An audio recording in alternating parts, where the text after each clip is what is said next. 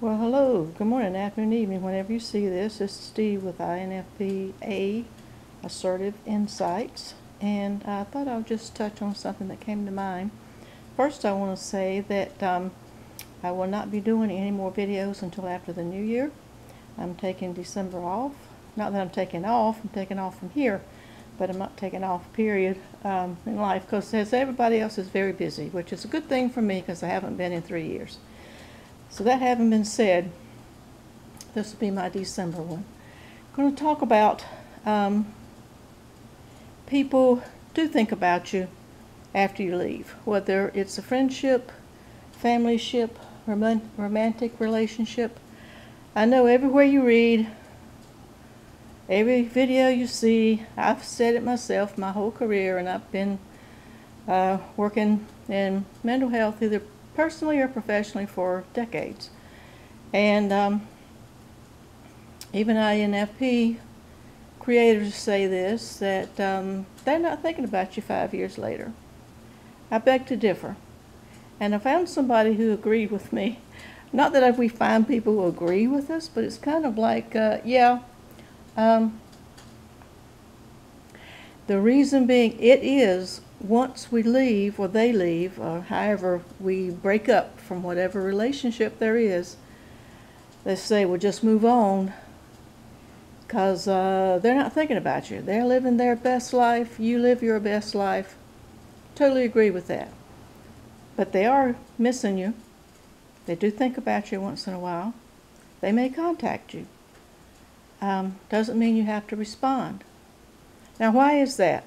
This is about the time everybody clicks off. Listen to me here about this. So why is that? The reason being is that the uniqueness of the INFP. Um, I saw something the other day by host Eric for talking with famous people. He was talking about INFPs, and I wish I had his clip, but quite frankly, I don't feel like going through it and showing it to you, but you can look it up. I'll do it later, maybe. But he was talking about outliers in general, specifically, I don't know, but it was the topic was about INFPs, and he was saying just basically um, that yeah, that sticks out in other other personality types' brain, um, because that's something that other the other 15 don't have. That we're the outliers. There are other outliers, but we are the most. Um, I think it's because we are the um, deepest with the most um, creative. It's the it's the F I N E. That's all I can tell you. we feel deep, and you put the F I with the N E, and we see all these possibilities, and we talk, and we're very interesting people. And I've had people tell me, you know, gosh, I never thought about that, or sarcastically, well, only you would think up things something like that. Either way, we stick out in people's minds. And I know when I've been in romantic relationships, I may get into that next year. I may make it a little bit more adult. you never know. Stay tuned. Um, but yes, I am old, but I'm not dead. Um, I've had several relationships. I've had some as as recently as a couple of years ago or so. Um, so yeah, uh, we are, uh, most everybody will get back in touch with me. I mean, not so much now I'm older, but people will get back in touch with me, and I've noticed that over the decades. I mean, I've noticed that. When I got divorced, my kid's dad walked out in the middle of the day, um, just walked out, and um, out of the blue. And six months later, he changed his mind and wanted to come back, but there was too many caveats, like bring the girlfriend with him and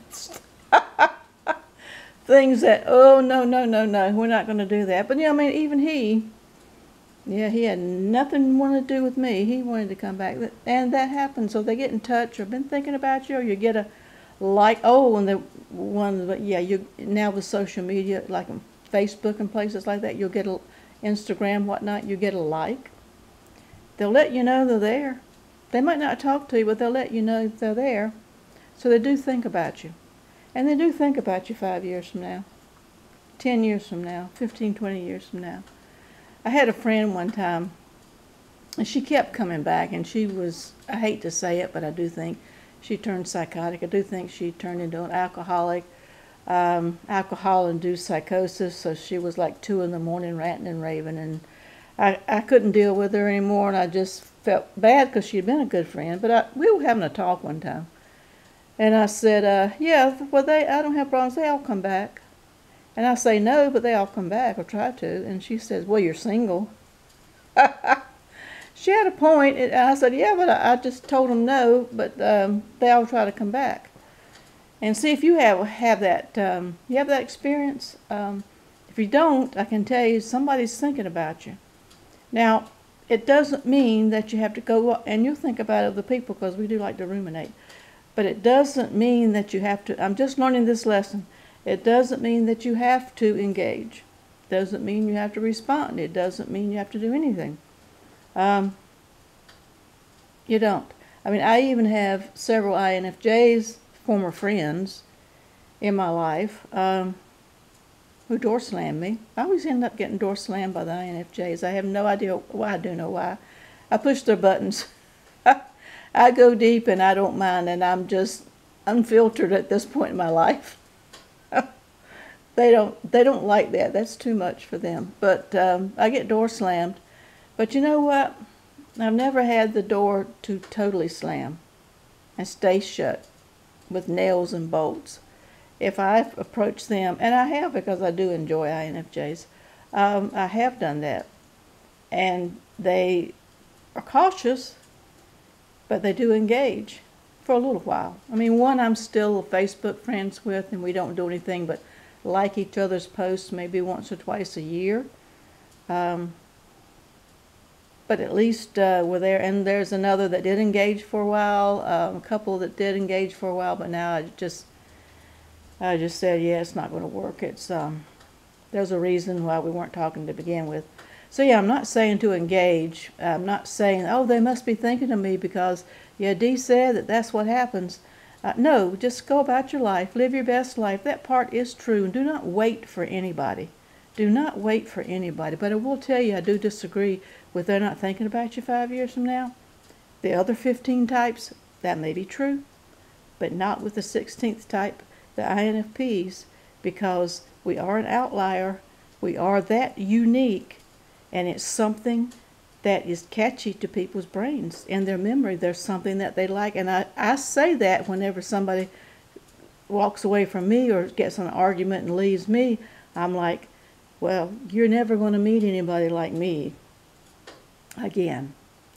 And that's that's my little ego talking. I understand that, but it makes me feel better, and it is true. Nobody is going to ever meet anybody like an INFP. We are that unique. We are that special. That's all I wanted to say. That yes, they do think about you. You don't have to engage, but we are thought about. Let me know what you think. Let me know have you, if you have gone back if you have reconnected with people, what happened? Did it work out? Did it not work out? Um, you agree, disagree? Totally off the wall? Of love your comments. Share, subscribe, whatever, like. Just like and comment. I'm not getting into the sharing and subscriptions because YouTube's taking them away. That's a whole nother issue. Google is deactivating all accounts that haven't been used in two years. That's a lot of people's subscriptions at some point, I think. But anyway, yeah. Have everybody have a great holiday season. Whatever holiday you celebrate, even if it's no holidays, have a great season for December.